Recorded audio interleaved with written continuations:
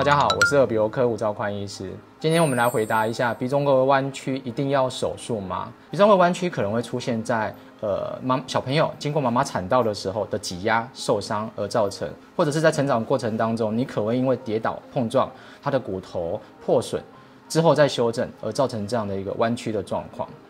那因为鼻中隔的主要的功能是要把我们的鼻孔一分为二，让我们左右鼻孔的气流量可以达到平均的状态。一旦它的歪曲、它的歪斜，造成它两边气孔的气流分配不均，您就会产生鼻塞这样的一个困扰。所以，当您的症状已经影响到您的生活，譬如影响到你的睡眠，影响到你的工作，甚至因为弯曲的点造成鼻腔里面的疼痛碰撞。如果有上述这些症状，临床医生可能就会建议您做进一步矫正的动作。很多人都会有鼻中隔弯曲的问题，啊，事实上鼻中隔弯曲在很多朋友上面都会发现。原则上，临床只要没有特别的症状，并不需要因为这样而大刀阔斧去做手术矫正的动作。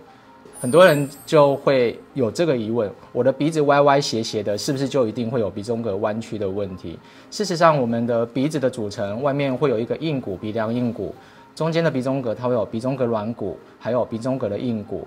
呃，从外观有呃，应该说从外观不容易判断出你到底有没有鼻中隔弯曲的现象，所以大部分医生可能还是要透过比较精细的内视镜的检测，或者是说呃初步肉眼的观察来判断你有没有鼻中隔弯曲的现象。鼻中隔弯曲，它其实是躲在我们鼻梁底下的软骨跟硬骨的组成，所以鼻中隔弯曲的矫正之后，不用太担心会造成外观的改变。但是我们有一些呃进化的手术，就是当如果说您有鼻中隔弯曲的困扰，同时又有鼻外观不满意。俗称的鼻扭曲的困扰，医生可以在做鼻中隔弯曲矫正手术的时候，顺便帮你把鼻头做进一步的修整。鼻中隔弯曲它可能会造成两边鼻孔分气流分配不均，然后可能会有这样子因因因此而造成鼻塞的状况。别忘了，我们的鼻孔里面还有一个特别的构造，叫做下鼻甲、中鼻甲跟上鼻甲。这些鼻甲就好比住在这个隔间里面的房客一样。如果房客他的吨位比较大。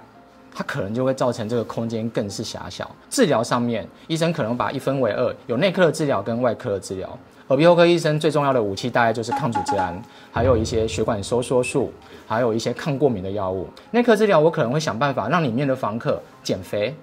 我试着让一些药物来试看看能不能让你瘦身。这个时候借由药物的治疗来增加气道的一个舒畅度。但是如果说药物失败了，我们下一步可能就要想办法，我要强迫你做减肥手术了。所以当我们在使用减肥手术的时候，会把肥大的下鼻甲把它缩小，同时也顺便修整我们的鼻中隔弯曲的部分。就像房子装潢盖做的不好，或者是房子盖歪了，我们就重新打掉重建一样，这样一个概念。如果您的鼻中隔弯曲经由耳鼻喉科医生判断只不过是轻微的症状。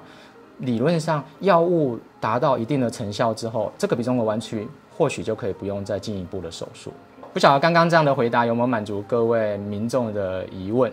那如果各位民众想要知道更多有关耳鼻喉科相关的问题，或者是一些健康资讯，请记得按赞，然后订阅我们的频道，别忘了要开启你的小铃铛。谢谢。